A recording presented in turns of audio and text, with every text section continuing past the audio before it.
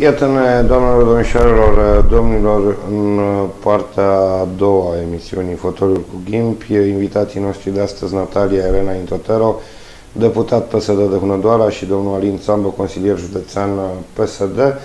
Am văzut uh, acel filmuleț și, uh, fără a fi cinic uh, sau uh, rău intenționat, că nu sunt de data asta, uh, de fapt nu am fost niciodată rău intenționat, uh, Vreau să vă întreb de ce e atât de important sau de ce era atât de important să stabiliți această zi ca, uh, eu știu, motiv de uh, sărbătorire, de uh, lucruri de, de genul acesta.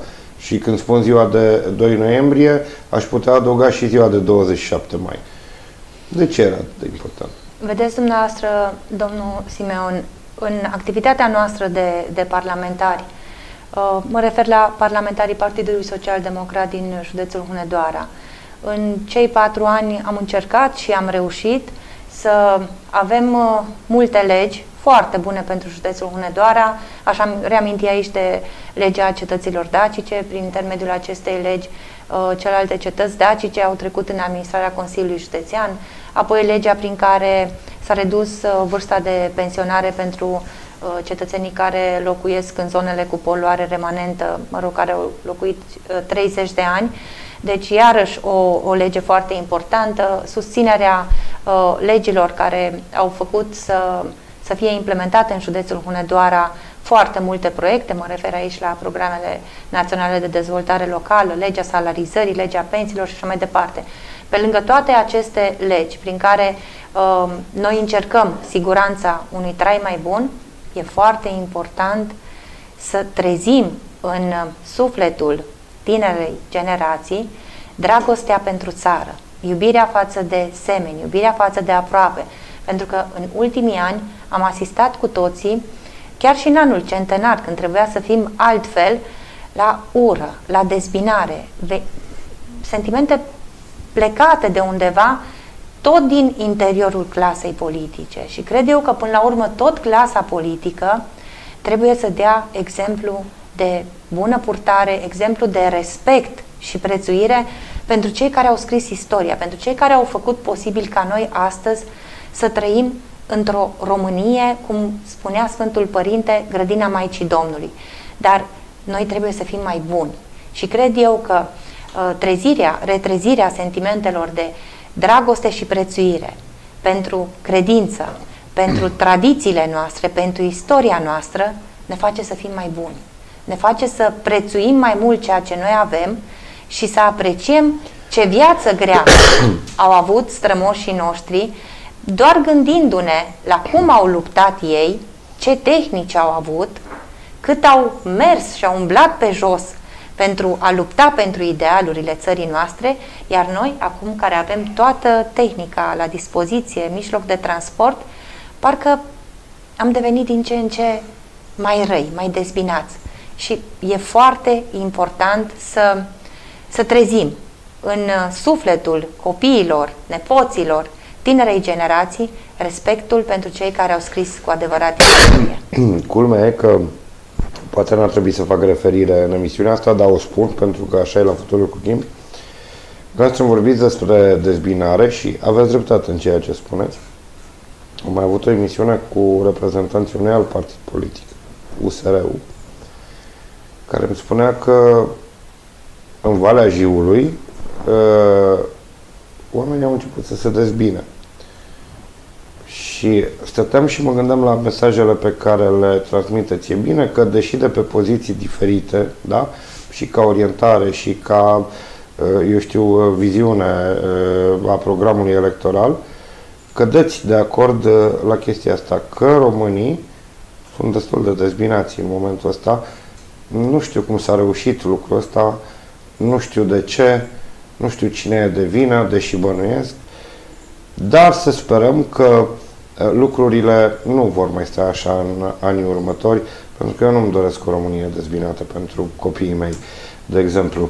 Eh, și vreau să vă mai întreb că tot îmi spuneți de siguranța unui trai mai bun. Doamna Intotero, domnule Țambă, Cum îmi oferiți dumneavoastră siguranța unui trai mai bun? Prin uh, proiectele pe care suntem pregătiți să le, să le punem pe masa Parlamentului, să fie și votate, care să ofere un trai mai bun cetățenilor. Prin tot ceea ce am făcut în cei patru ani de, de ultimii patru ani de uh, activitate parlamentară, uh, cred eu că am reușit să oferim uh, cetățenilor uh, un trai mai bun. Desigur, e loc de mai bine, întotdeauna. De unde trai și mai e bun? normal. Că pensiile nu dar, sunt mărite, uh, Păi, uh, alocațiile da. nu sunt dublate. Într-adevăr, în, uh, în ultimul an, că azi mâine va fi un an de când uh, actualul guvern uh, conduce România, într-adevăr am văzut cu toții o stagnare și chiar regres, nu doar stagnare. Și aici intervine un aspect foarte important. În 2016, românii au dat un vot uh, masiv către un partid politic. Acel partid politic a făcut guvernul.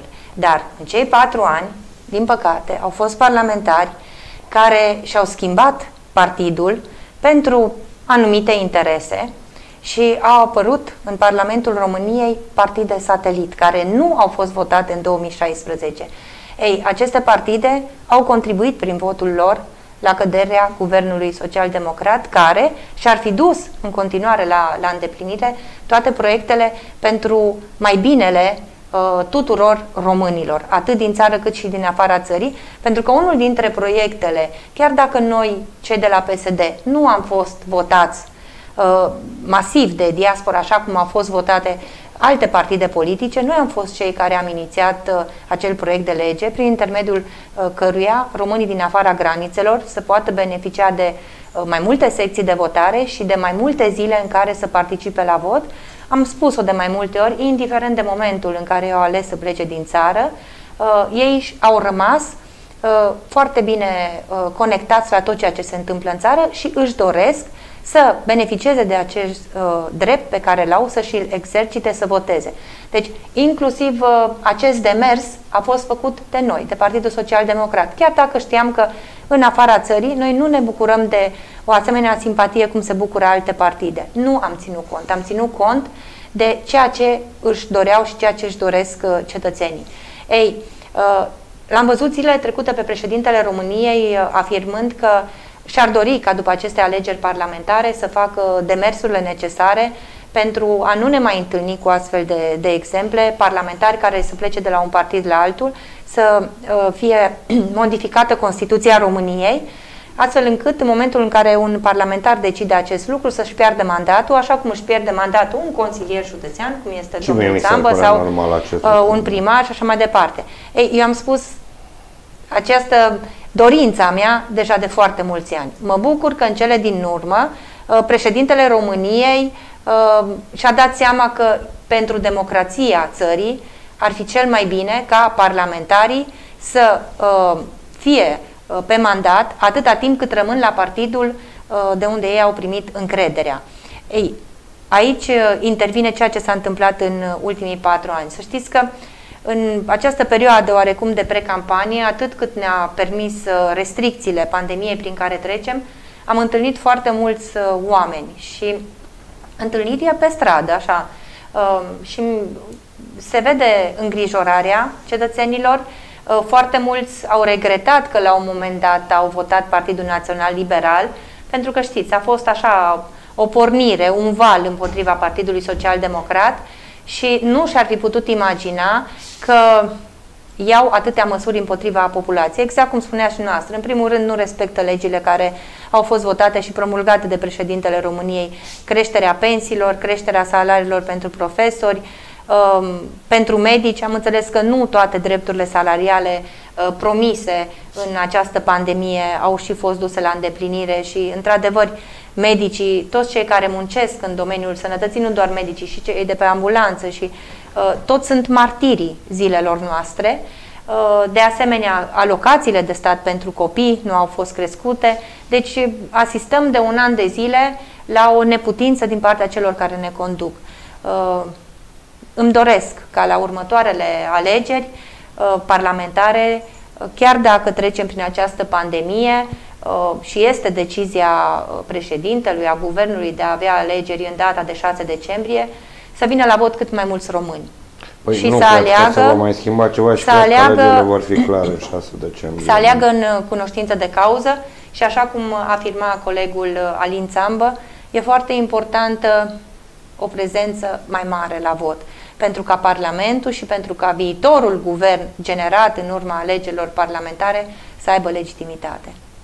Domnule Țambă, din, ați fost uh, viceprimarul municipiului uh, Orăștia, cum sunteți consilier județean și uh, mai mult, ca sigur, unul dintre vicepreședinții Consiliului Județean, din câte am înțeles.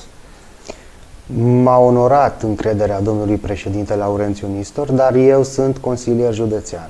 Acum, dacă, o să fie, dacă o să fie cazul să fiu vicepreședinte al Consiliului Județean, voi fi foarte onorat. Însă eu sunt onorat și de poziția de consilier județean și din această calitate îmi doresc să fac lucruri pentru Hunedoreni în așa fel încât ei să trăiască mai bine. Pentru că avem un județ care se poate dezvolta turistic foarte mult și cred că turismul și agroturismul poate fi o șansă pentru județul Hunedoara, având în vedere monumentele istorice și toate lucrurile și peisajele deosebite ale acestui județ, binecuvântat de Dumnezeu, cu locuri pe care poate n-am știut să le apreciem suficient de mult noi politicieni în general. Vreau și eu să adaug Bun. ceva, dacă îmi permiteți. Sunt uh, foarte bucuroasă, am primit cu mare bucurie această nominalizare din partea domnului președinte Nistor Laurențiu ca Alin Sambă să fie una dintre propunerile domniei sale pentru uh, una dintre funcțiile de vicepreședinte al Consiliului Județean. Um, Alin uh, s-a născut în anul Revoluției. Știți, foarte mulți spuneau PSD, Partidul Comuniștilor. Nu este așa. Avem foarte mulți tineri uh, capabili, oameni extraordinari. Alin vine cu experiență în administrația locală de patru ani. Am muncit uh, alături de primarul municipiului Orăștie, un om foarte harnic, foarte implicat și uh, cred eu că Alin va face față cu uh, uh, brio, este un tânăr serios, implicat acestei funcții. Oricum, Bineînțeles a fost că o surpriză. Uh, vom, uh, vom avea votul de, de încredere din partea colegilor în cadrul partidului politic și apoi urmează votul de încredere din partea uh, tuturor consilierilor uh, județeni care, care și-au uh, uh, luat uh, acest mandat. Este un om care sunt convinsă că va, va munci alături de toți consilierii județeni și va determina, așa cum uh, îi va determina și domnul președinte Nistor Laurențiu, pe toți consilierii județeni, indiferent de partidul din care fac parte, să facă echipă pentru Hunedoara și pentru Hunedoreni. Așa cum spuneam uh, în timp ce dumneavoastră vorbeați, propunerea a fost o surpriză, una plăcută și interesantă în același timp. Nu știu, uh, ați fi, cred că, cel mai tânăr vicepreședinte al uh, Consiliului Județean, dacă...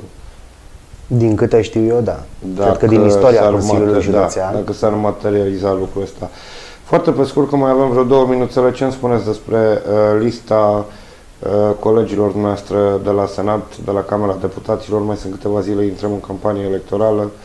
În primul rând, uh, vreau să mulțumesc uh, colegilor uh, membrii ai Partidului Social Democrat pentru încrederea acordată, pentru susținerea. Uh, toți uh, cei care am fost în 2016-2020, cu excepția domnului președinte Nistor Laurențiu, deci toți parlamentarii am fost uh, propuși pentru un nou mandat.